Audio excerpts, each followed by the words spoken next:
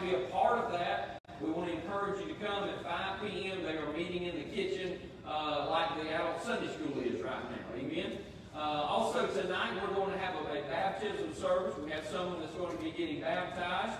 Uh, if anyone else has been, you maybe you have been saved and you have never been baptized, uh, I want to encourage you to speak to me. We would love to have the honor to do that this evening.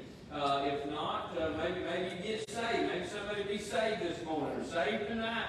And we'll baptize you tonight. Amen. So come to be with us tonight. We'll have church at 6 and the baptism will follow as well. Amen. Uh, also, there's going to be a wedding shower coming up for Will and uh, Alexis. Uh, be remembering them. They're getting married in October. Uh, they are, a, are members of our church. They are faithful servants of, of our church. I think Will's working today in Alexis. I see Alexis over there. Um, uh, they are faithful servants. They, they serve uh, they're serving free kids, or not free kids now, they're doing youth upstairs. They're helping Sister Nikki upstairs uh, work diligently uh, through Vacation Bible School and many more things. So we want to encourage you to bless them and love on them September the 11th at 11 a.m. They are registered at Amazon and at Target. Uh, so I want to ask you to honor them and to bless them as they are starting their new life together. And certainly, certainly, they'll take all the prayers that they get as well. Amen. Lift them up. Uh, lift them up in prayer. Amen. Uh, I think that's all of our announcements for this morning. Continue to remember those that are sick. Remember those that have, have been away from us, those that may be battling this COVID. Uh, many in our church had it, but praise God, they are on the mend, being healed, and God's raising them up. Uh, so continue to pray for them as well. Amen. But let's stand up all over the house if we can this morning. Again, it's so good to see you in the house of the Lord today. And as we get started, we just want to go to the Lord in prayer and ask God's presence to come and move mightily in this place. We don't have nursery this morning. Nursery and children will remain in the sanctuary this morning uh, through the service. Uh, we'll be starting that back very shortly. But we're glad to have you. Let's go to the Lord in prayer this morning. Father, we come before you today in the name of your Son, Jesus Christ. We love you, Lord, and we thank you for the privilege and the opportunity of being in your house this morning. Lord, we just ask that you would move in a mighty way today. Would you move in the singing and the, the worship as we lift up and make a sacrifice of praise unto you. May you honor it, God, by your presence. Flooding this house today, God. May hearts be changed. May hearts, uh, lives be saved today. Father God, we just pray, God, that the word would go forth and it would find its way on a good, fertile soul, Lord, and bring great forth a harvest in our lives. We give it all to you this morning. In the name of Christ we pray. And everybody said, Amen. Amen. Amen.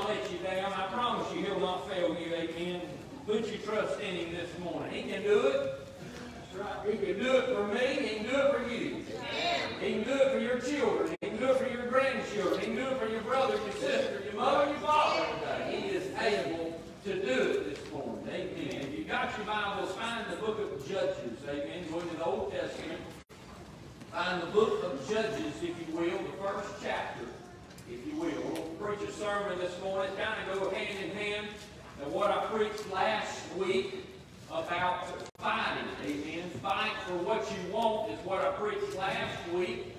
And this sermon I'm going to preach this morning is along the same lines and about how the devil wants to render you defenseless. And so I preached this and I titled this sermon this morning, Thumbless and Toeless. Amen. Thumbless and toeless. Amen.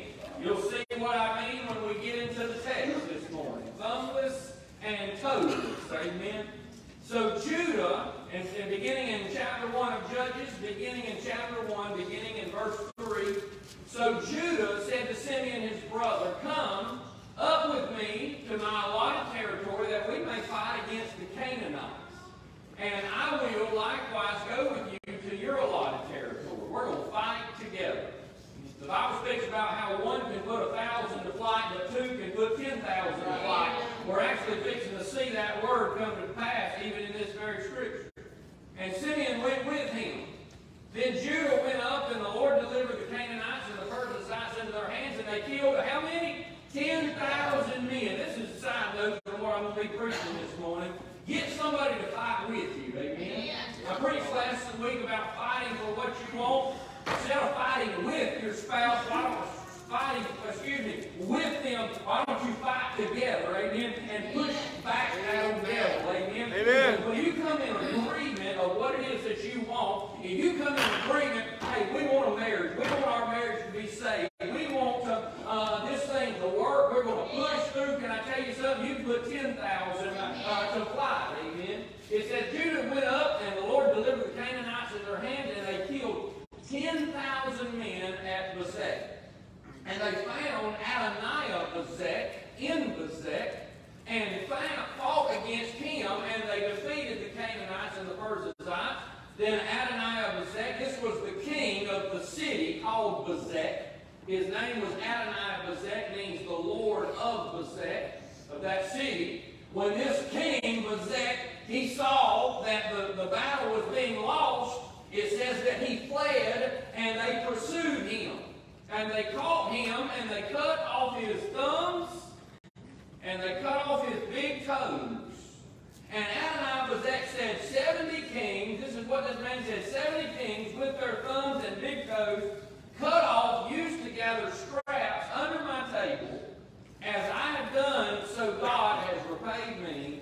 Then they brought him into Jerusalem, and there he died. Amen. Let's stop right there and pray over the reading of God's Word. Father, we come before you one more time in the house of the Lord. Thank you for the privilege and the opportunity uh, to be in your house this morning. Thank you, Father, for the good singing that we've had. We pray that it's been a sweet, sweet sacrifice of praise unto you this morning. Lord, we just ask for your continued anointing upon this word. May you help me to preach it. May it come to life, God, uh, uh, for our congregation. And Father, may it encourage them to continue to fight the good fight of faith. In the name of Jesus Christ, we pray and ask. And everybody said, Amen, amen, and amen. Here in the book of Judges, we see we have two tribes of the people of Israel. There were 12 tribes, and we got two of them here on the scene. We've got Judah and we've got Simeon. And the Bible says that they came together, they were going to fight against the Canaanites, Canaanites, and the Perizzites. And it was here in this particular battle that they defeated a very great enemy of the people of Israel. And the Bible says that at a place called Bezek, if I'm pronouncing that the best I can, Bezek that they killed the cats, and they were just running around all night. And I said, well, he's finally got aggravated, and he's probably coming in here, he's trying to get away from them cats. And I heard something rattle on there. I heard the, the door rattle, I didn't think nothing about it. I laid there. And all of a sudden, something landed on the dead. I was laying on my stomach, something landed dead center on my back. You thought I could have walked on water, amen? Because I come up out that bed, amen? Well, what it was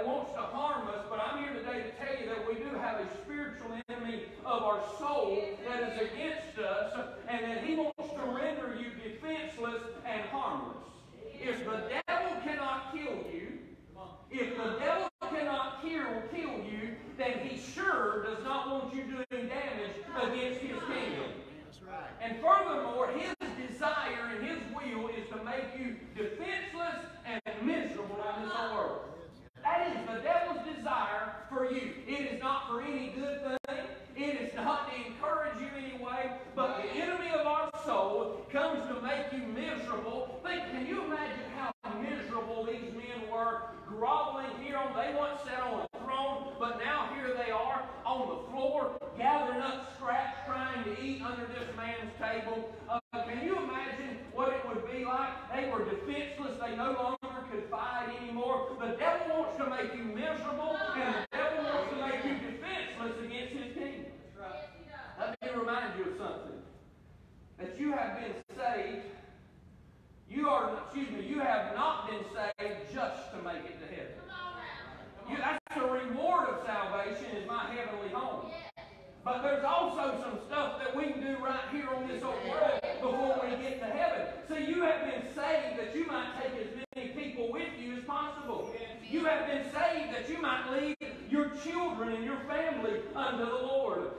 been saved that you might be a mighty soldier in the Lord's army. You have been saved that you might take back territory that the devil has stolen. And you have been saved that you might do as much damage to the kingdom of hell as you possibly could. You have been saved, friend. You and when you got saved, you didn't just get, well, my name got written down in heaven, but you also were inducted into the Lord's excited about that. Y'all might be like them Romans. Y'all be like, well, cut my thumb, cut my thumb off so I ain't got to do no fighting. Let somebody else do the fighting. I'll just sit on the sideline. Oh, There's too many Christians sitting on the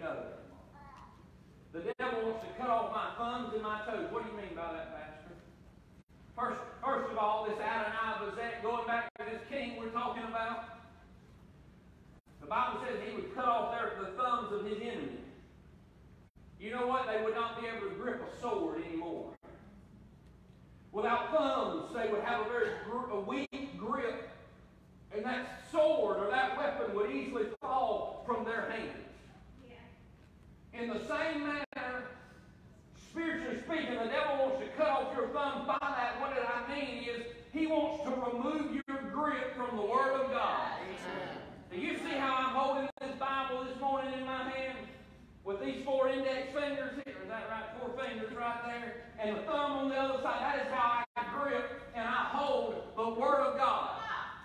By saying that the devil wants to cut your thumb off, in other words, what he's wanting to do is to get your grip off of the weapon that you have been given. He wants to get your grip off of the sword of the Spirit. In Ephesians chapter 6, uh, we hear Paul speak about the weapons of, of warfare. He talks about uh, uh, the helmet of salvation, the breastplate of righteousness, the belt of truth, uh, the shoes shod with the gospel of peace. Uh, He talks about all of these things. He talks about the shield of faith. But those are weapons of defense. Uh, But the one weapon of offense, uh, of fighting back, uh, was the sword of the Spirit. And that means the word of God.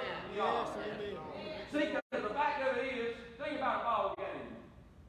Think about a basketball game or a football game. You cannot win either by just simply playing defense. You got to play some offense. You sit there and you can guard your, you can guard the goal. You, you can guard the goal post all you want to, but until you've got some offense and run that ball to your own goal, amen, you're not going to win any ball games. Amen. Not only have we been given weapons to defend ourselves, I want to remind you, I got a sword in my hand, and right here that the enemies of God, my enemies, that devil and every demon in hell, cannot stand against this mighty sword. But the devil wants to cut their thumbs off. He wants you to lose your grip on the Word of God. He wants you, church, to let go and have a weak grip on the Word of God. The enemy wants to loosen your grip on the Word of God. Listen, I believe the devil's done a very effective job of doing this, just this very thing in the United States of America. The devil has been very effective to take the church's grip off of the true Word of God. We are the most biblically illiterate generation since the time before the printing press. We have Bibles in every language. We've got Bibles in every translation. You've got them in King James, uh, every other in, in between uh, uh, translation. You know, believe I just still can't read it. I still can't understand. How much more plain can you get? We are a biblically illiterate generation. We've taken our hand off of the Word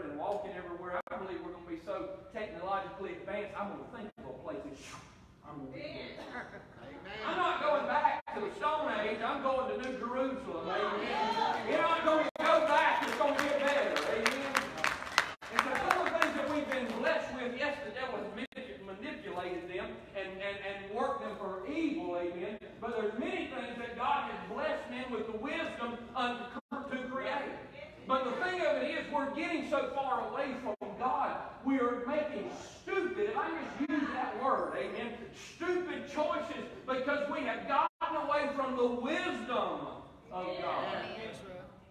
We, the devil has been very, very uh, um, effective in loosening our grip on the Word of God. Think about this for just a moment. Lifeway study. Lifeway study found that only, for only 45% of those who regularly attend church read the Bible more than once a week.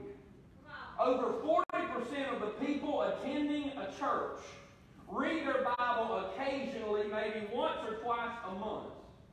Almost one in five church goers, one in five in this building, say they never read their Bible.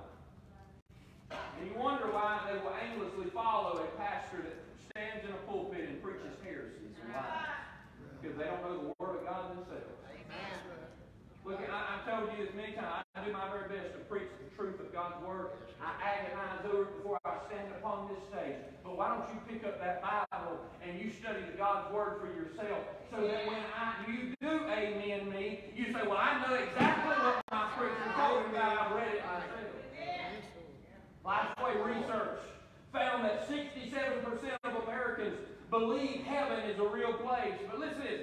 67% of Americans believe heaven is a real place, but 45% of them believe that there are many ways to get there. That's including one in five evangelical Christians. I wonder if that's that same one in five that don't read their Bible. Amen? Look, get this. It gets worse in the UK, United Kingdom. Get this. One in three parents that they surveyed thought Harry Potter was a story from the Bible. Amen. Woo! We wonder. We wonder why this world is in the shape that it's in. I'm going to tell you why the enemy has taken our grip off of the Word of God. Amen. He's taken the sword of the Spirit out of our hands today. And you know what the church is doing? The church is sitting back in this hour, and we are saying, well, you know, these are just the signs of the time, and uh, the Bible said that it was going to get bad, and because we are sitting back doing nothing, we've laid the Bible down. The kingdom of hell is advancing right here in these United States faster than we can even begin to imagine. What is the answer then, Pastor? I'll tell you what the answer is today, is to get the Word of God back in your heart and in your mind. David said, I hid thy word in my heart that I might not sin against thee. That's what we need to do today. And it needs to start in the church house. It don't need to start in the world. It needs to start in the church today. That we pick the Word of God back up today and we get this Word in our hearts and we let it dictate and govern our lives. How much better? Think about it. I talked I talk about how our government's making stupid. We see that on TV. Yeah. Come on. Boy, they making some stupid mistakes up there. How many of us have made some stupid mistakes when we got out of this word? Amen. Let me go. Oh, come on. Let me bring it right down here too. When we got out of this word and we started just going on self, I'm going to do what I feel like doing. I'm going to do what I want to do. Let me tell you something. Trust our feelings. Amen. You got to be very careful when you go off of these feelings. You want to know why uh, Jeremiah said the heart is deceptive? Who can know it? Uh, these old feelings will shift just like the wind will shift and that cloud will blow to the north, south, east, and west, just like that. Uh, what we need to do is get rooted in the Word of God and say, whether I feel like it or not, I'm going this way. Whether I feel like it or not, I'm going to do what's right whether I want to or not, I want to honor God with my life because He first loved me. I love Him. Hallelujah. Thank you, Jesus. The answer is we need to return to the Word of God. The true, unaltered, unadulterated Word of God. We must understand. It is right here found in these pages that we learn of salvation. It's right here in these pages that we learn of the, the Lord Jesus Christ. But that's not all that the Lord wants you to know about. Right here in these pages, we find about the power of the Holy Ghost. We find the power of forgiveness, the power of prayer, the power of the armor of God, the power of the blood, the power of speaking the name of Jesus. It is right here on the pages, black and white today. The book that I hold in my hand gives you a spiritual power and authority against our enemy, and he wants to take it out of your hand and render you defenseless. Colossians 3.16 says this. Listen to what it says. Let the word of Christ dwell in you richly. Let the word of Christ dwell in you richly in all wisdom. Do you understand what I said a minute ago about how this world is making stupid mistakes because we've got out of the Word of God? When this Word dwells in you, I promise you it will bring forth wisdom in your life. Praise the Lord. You sitting there and say, well, Pastor, what? I'm just one person. I'm just one person. What does one person really matter? What does one person, you know, one person, you know, I'm just, I, I know I don't read my Bible, I don't study God's Word, I don't pray like I should, but I, I know I'm saved, I'm right with God, but I'm just not, you know, I'm not that real armored soldier you're talking about. Well, I'm just one person. Remember what I told you earlier? The Bible tells us that one can put a thousand to flight, but two can put ten thousand to flight. Do you know what that tells me? That tells me that you matter. You know what? When old Simeon went to Judah, and he said, Hey, brother, would you come fight with me? That one added to him made a difference. Amen? And if the church of God would just begin to pull together to get on the same battlefield and to fight the same enemy, I'm telling you right now that all hell would begin to tremble. If we would fight together in the name of the Lord. Amen. We've got mighty weapons through the pulling down of strongholds. Secondly, let me move to the second part quickly. Said, I want to cut your fingers off, cut your thumbs off if you can't grip the Word of God. But the thing, second thing that old Adonai Bezek did is he cut off their big toes. Not all of them, he just cut off the big toes. Whether you know or not, uh, that big toe that you stubbed uh, on your nightstand last night as you were stumbling through the dark, amen, and you spoke uh, 16 different languages at one time uh, when you hit the end of that bed with them toes, amen. That big toe is important, amen. Think about this. That big toe carries most of all of the weight, covers more weight than all of the other toes, bearing about 40% of the load on your feet. It's the last part of your foot that pushes off the ground as you are taking your next step. It gives you direction. It gives you balance and helps you to move forward.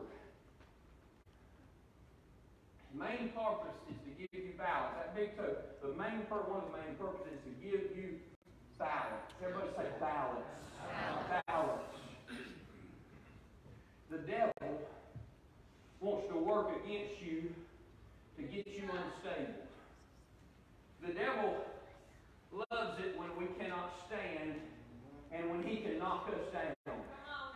His desire is to take away your ability to stand. He wants to cripple you so that you will not be able to walk and that you will ultimately fall. The devil wants to see you fall. I'm going to say that again. The devil wants to see you fall. The devil wants to see you fall. And I thought about it, and we go back to Genesis chapter 3, and I thought about Adam and Eve. It was to his uh, enjoyment that Eve took that fruit and took a bite of it. It was his celebration uh, that Adam took of that fruit and ate of it, and that they fell from God's presence. He rejoiced that day, whether you know it or not,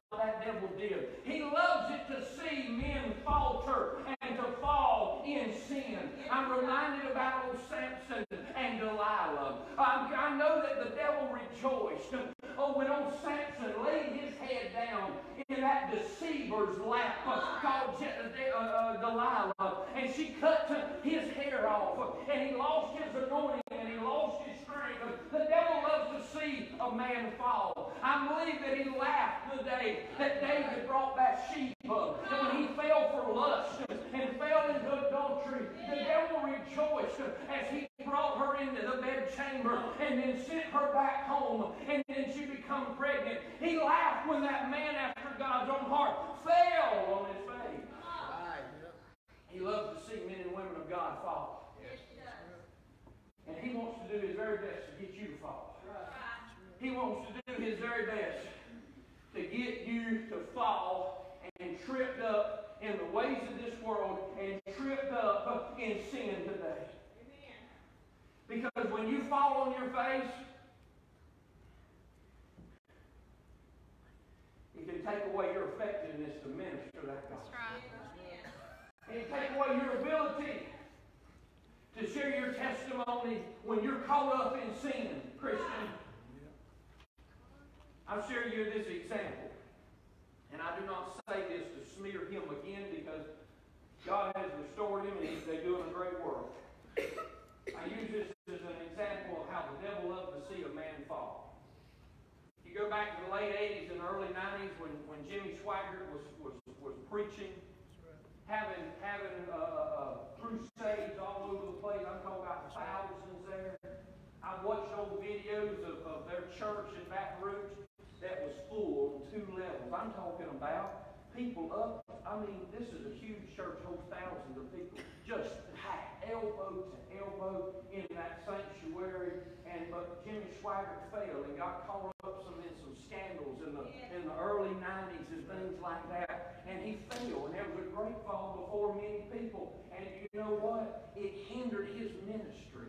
It hindered his ability to reach the lost. It hindered his ability to preach that gospel. And because now you can go back there in that same sanctuary, but the top deck ain't full like it used to be, and it's not overflowing, and it's just not what it was.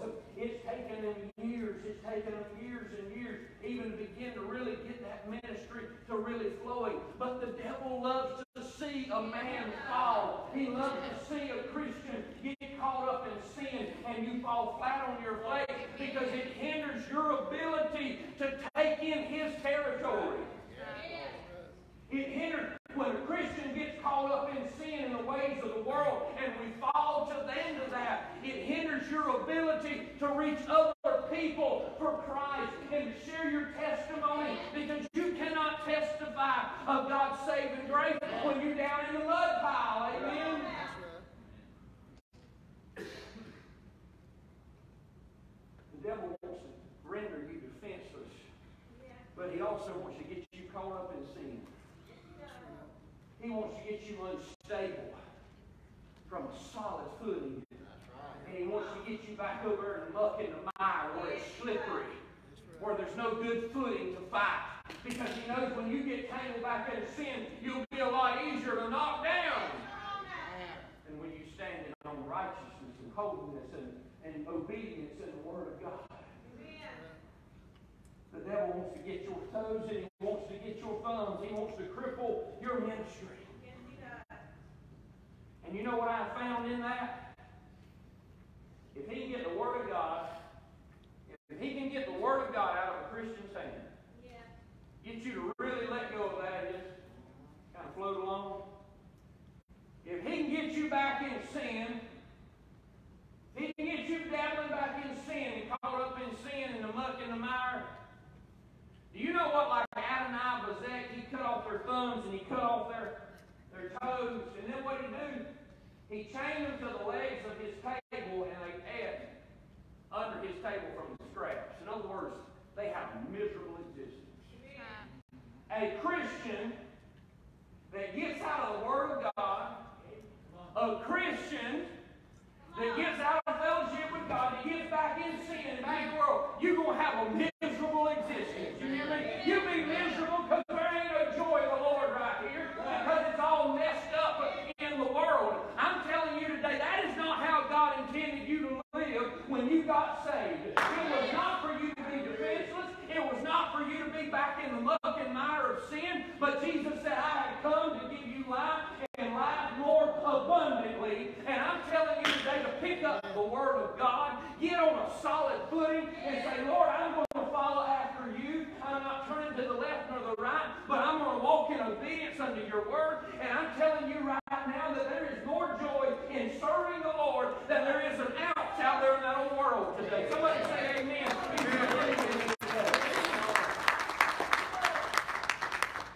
When a Christian gets away from that word, when a Christian gets out of fellowship with their God, I'm telling you they're miserable. David said, Restore to me the joy of my salvation. When David fell in adultery, I used him for a minute ago. I told you how the devil loves to see men of God fall, women of God fall. David was miserable. Yes, he was. But he cried out, Oh Lord, restore to me the joy of my salvation. Restore that me, O Lord. If there's any unclean thing in me, Lord, make a clean heart in me, O Lord. Let me tell you something right now. You might have been a Christian, you've been got, got apathetic to the Word of God, and you've got out of the Word, you've been real lax in picking up the Bible. Maybe you're a Christian, and you got down in the world again, and you've been out in sin. Can I tell you something? All you got to do is cry out this morning. Lord, restore a clean heart in me. Lord, restore the joy of my salvation. I want to get back in right fellowship with you. I want to get back in your word. I want to get back in your will. I want to live for you and not for myself. You see, he has that amazing love we were singing about earlier. He has that amazing grace that we're preaching about this evening. And though we may falter, though the devil may get a little advantage on us from time to time, can I tell you something? It don't take much. We get right back in fellowship with the Lord. Woo, you can do a 180 right now. You can get off of that old track that devil's been leading, leading you on. You can get out of that old misery. What about it? Now I'm preaching, I wonder if I'm preaching to anybody in here today. I wonder if I'm preaching to anybody here today. You say, I'm a Christian, but Lord, I'm been a miserable Christian lately. I've been out of fellowship with my Lord. I've been doing things that I know ain't right, and I'm miserable today, Pastor. come And why in the world don't you make that change today? I want you say, Lord, I'm coming home today. I'm. I want to renew my commitment to you. Woo! The devil ain't going to reign over me. The devil ain't going to reign over me. Listen, we are believers. We've been saved by the grace of God. But I'm telling, I'm here today to tell you that the devil comes to make you a miserable soul. You can be saved all day long, you still go to heaven, but the devil down here on this earth, if you allow him, he will make you a miserable soul. Some of you miserable because you ain't in right fellowship with God. Why don't you get in right fellowship this morning? Why? Come on to the music this morning.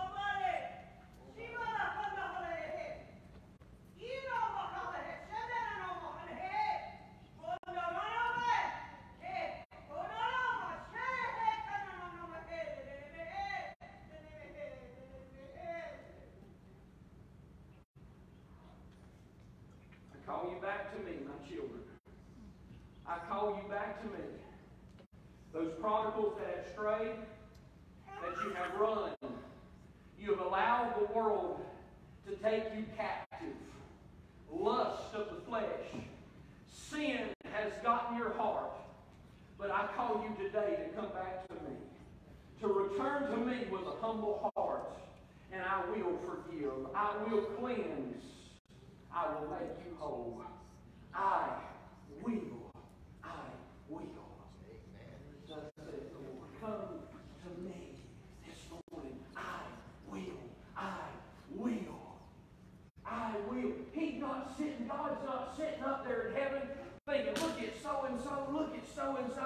I'm so mad at them.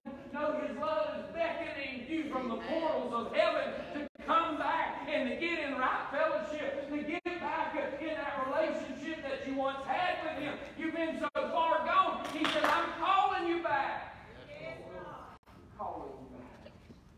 Oh, I feel that word. That's not even actually where I was going with that sermon. That, that, was, that is not where I was even going to bring that sermon to, but that's where God led it to. Amen. Come back. Come back. I feel that. Come back. I feel that word come back in my spirit. Come back. Come back. You've gotten out of fellowship with God. You, you strayed. Come back this morning. Stand your feet all over.